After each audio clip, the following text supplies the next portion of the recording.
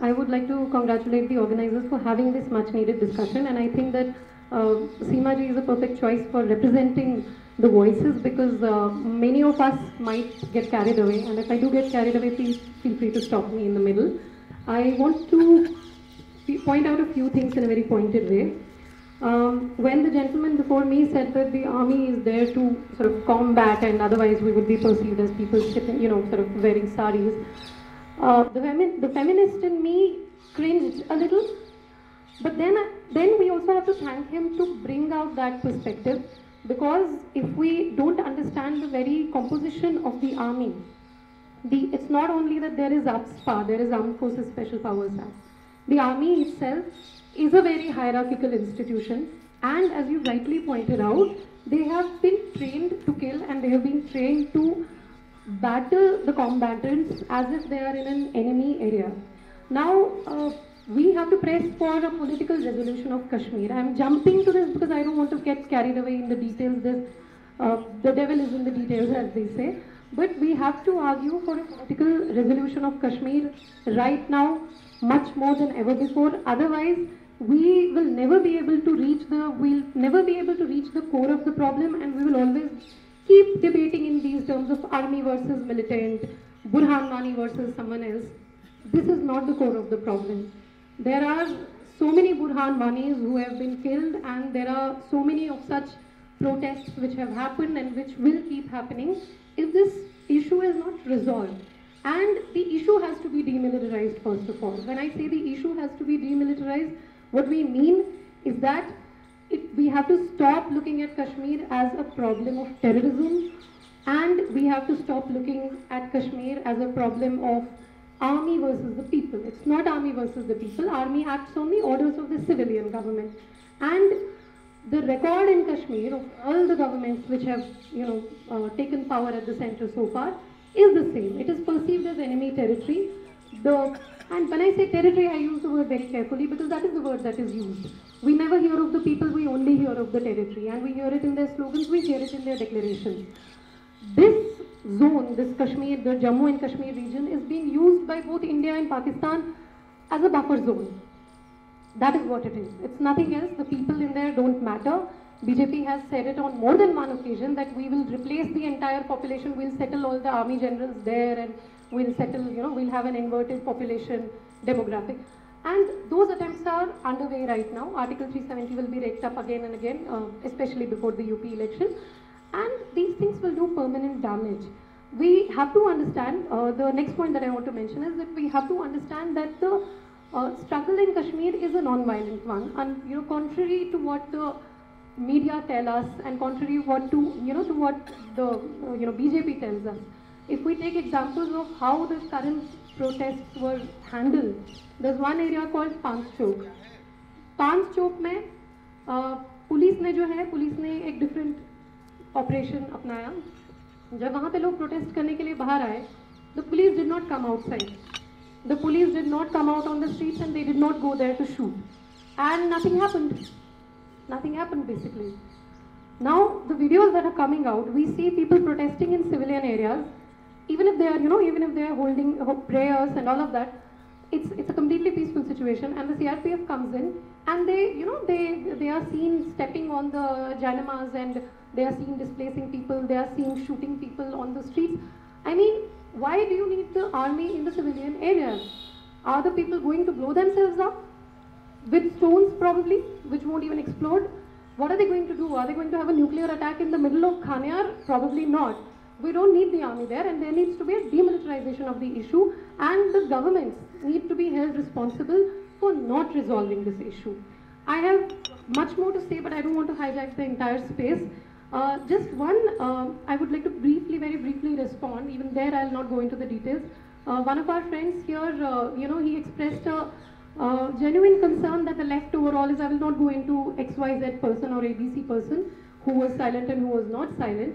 I think that collectively, I mean, all the progressive liberal people right now need to come forward. And uh, Seema is absolutely right. I mean, the left has so many hang-ups and has been terrorized so much. There is this whole situation of McCarthyism where everyone is afraid to speak. Umar Khalid says something about Burhan Wani and it becomes national news. They don't, the media don't care about what is happening in Kashmir and they focus on what Burhan Wani is saying. Kanhaiya says that army rapes in Kashmir and that becomes the national news and you know then the discussion shuts off. I think that the way, I mean, this, the, right now we have a situation of McCarthyism and Islamophobia and anti-Kashmir sentiment all rolled into one. And in that, I think that, you know, spaces like these and liberal voices, these need to come forward because they don't have this whole hang-up. For example, when we called a march on Kashmir, they were the, the, left organizations on campus started bringing posters against us.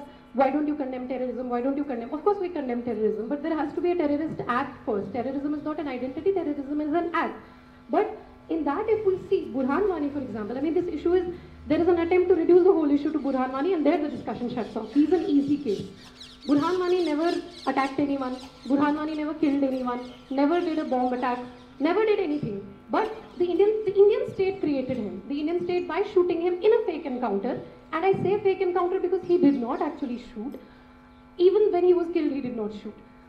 And the Indian state has created a terrorist out of him, and we have seen how Indian state can create a terrorist out of people like Kanhaiya, people like Umar. That is something we have seen right in front of our eyes. So the challenge there is for I and uh, I mean I I, I would still repose my faith. I mean given whatever shortcomings are there on part of everyone to not speak about Kashmir, I would still repose my faith in spaces like these and in people like these to speak up and to speak up in an uncomplicated manner. This is an issue of civilian killings, this is an issue of political resolution of Kashmir and that has to be, I mean that somehow has to be foregrounded. The last, the very last thing that I want to say is that right now I see a hope. I see a certain kind of receptivity among the people in India to hear about Kashmir and to talk about Kashmir. Earlier this wasn't there somehow, I mean, even people, uh, I had written a post uh, saying, you know, forget Burhan Wani, what did the Indian state do to Sheikh Abdullah? And that post was shared by many people who would even say, who were even abusing Kashmiris. They were abusing Kashmiris, you know, let them go to hell, let them go to Pakistan, wherever, etc., etc. But even they were sharing that post because somewhere this realization has crept in that our governments, who we criticize on every issue, on corruption, on safety of women, on uh, communalism, etc., etc., etc., how do we trust those exact same governments when it comes to Kashmir? You know, the Congress government can have, it can create riots, the Congress government can have corruption to its credit, it can have uh, not ensuring safety of women to its credit. But when it comes to Kashmir, how can we trust the same Congress government? This realization somehow is creeping in. And people in the country are, they are irritated somehow right now. You know, with this, they are not able to make sense of this whole thing. 2003 this happens, 2005, 2008, whatever this keeps happening and there seems to be no end to this cycle of violence. And I think that this is a this is a very opportune moment when in India we can have discussions on this and there can be more informed debate because people have seen what the character of the state is thanks to the BJP government coming in power, thanks to Modi coming in power. The people at large have seen what the state is capable of, the manipulations and the machinations that the state is capable of. And that's where I think the space for dialogue is people right now are ready to know. They want to know for their own sake, for their own mental peace. They want to know what is happening in Kashmir and how we can put an end to this. And uh, with that, I would again congratulate uh, uh, Jamia Collective for holding this discussion. And uh, uh, I, I feel, I mean, because I, I, I am an activist primarily, I feel that we need to come out of these closed door meetings of probably after building a consensus and we need to have marches in this on the streets of Delhi right now we we did want to have a, we had a protest in Jantar Mantar right now. Yeah, yeah. We had a protest at Jantar Mantar, but before that, the SHO calls me and says, "आपका protest anti-India, anti-army है, इसको आप cancel कर दीजिए." And then I spoke to him, and then he was convinced, and then he says, "Okay, fine, you at least give me an undertaking." So I said, no, I will not give an undertaking because we protest on every issue from educational policy to nuclear weapons to Uh, Kashmir, why should I give you an undertaking only on the issue of Kashmir? That is discriminatory. And then he doesn't have an answer to that. And then finally the ACP and additional DCP, everyone called me. And finally somehow we were able to have the protest. There will be difficulties. Yes, they are not allowing uh, Engineer Rashid's protest in Jantar Mantar was cancelled. But I think that we can try again and let's frame the issue in terms of you know civilian killings and asking for a political resolution.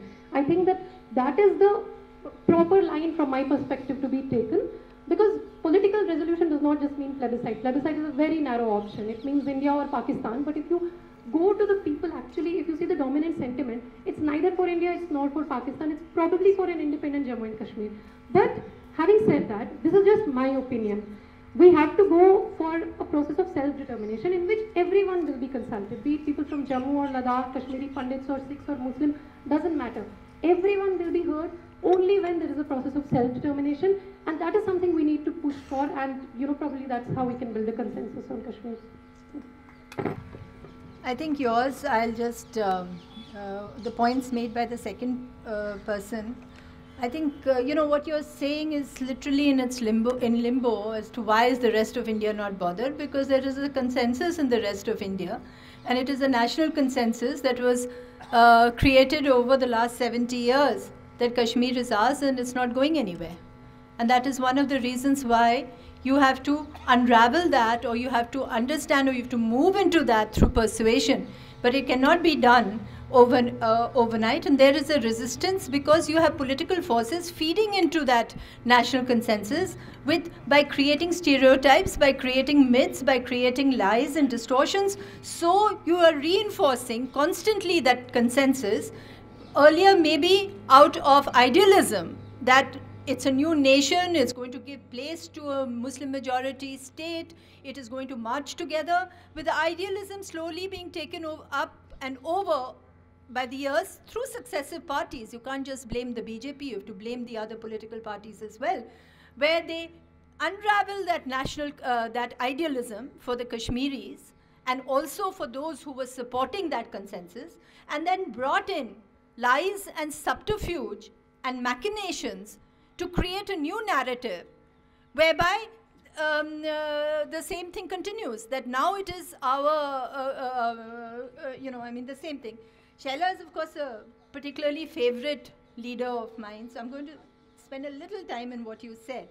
You know, when engineer Rashid came over here, he, he met me and just after me apparently went to a senior regional party leader from mainstream upper north very senior leader.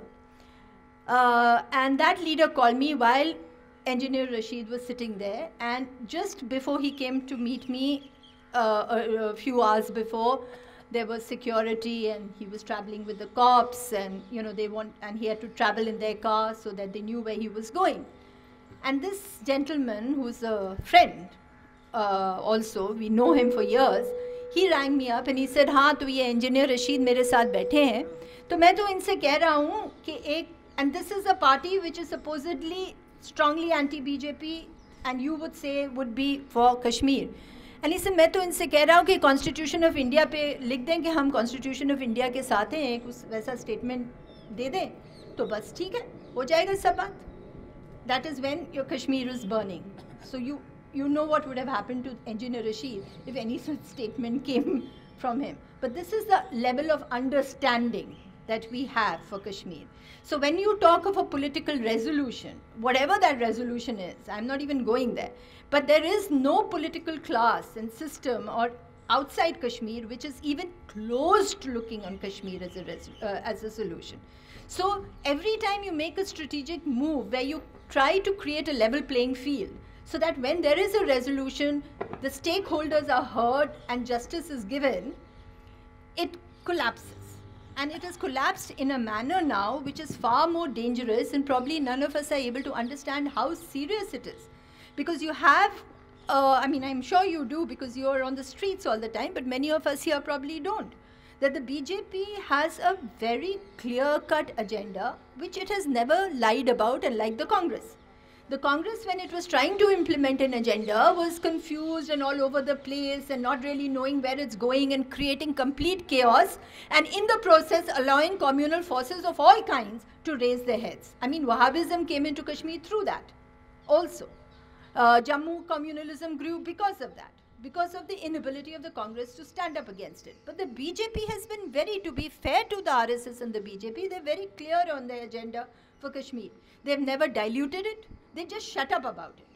They are following that agenda completely to the letter right now. And there is not any political resistance. The resistance, it's only the people of Kashmir who are out on the roads, on the streets, fighting, and there are dangers there. because it's a leaderless. I mean, regardless of, I agree with you completely, regardless of what this media is saying constantly that those Kashmiris are, uh, you know, with Pakistan or they're with militants. I mean, for one month you've had these protests which have been completely peaceful except for ikka dukka violence. Thousands have been on the roads. And if they have not been resisted, they have passed that all the protests in the districts and towns of Kashmir have passed peacefully. They come out, they raise their slogans, they go back home. That's been the pattern, but thousands are now, more and more women have joined them, little boys and girls have joined them. Everybody is on the roads. I was told from Kashmir that not a single mohalla or locality is not involved in the protest today. Look at the danger of that. You don't have leaders. When will it will it turn violent? Literally, really violent. They're already being made violent. They're not violent at the moment. They're completely peaceful. They're spontaneous. Pakistan's always been a factor. It has not increased its presence in Kashmir at all. So we are really at a level where all that you have hoped for is going to be completely smashed. And the plan is to keep Kashmir as territory, but keep it no matter what. That has to be resisted. RS is moving to a plan. It knows where it's going. The rest of us do not. And that is the problem.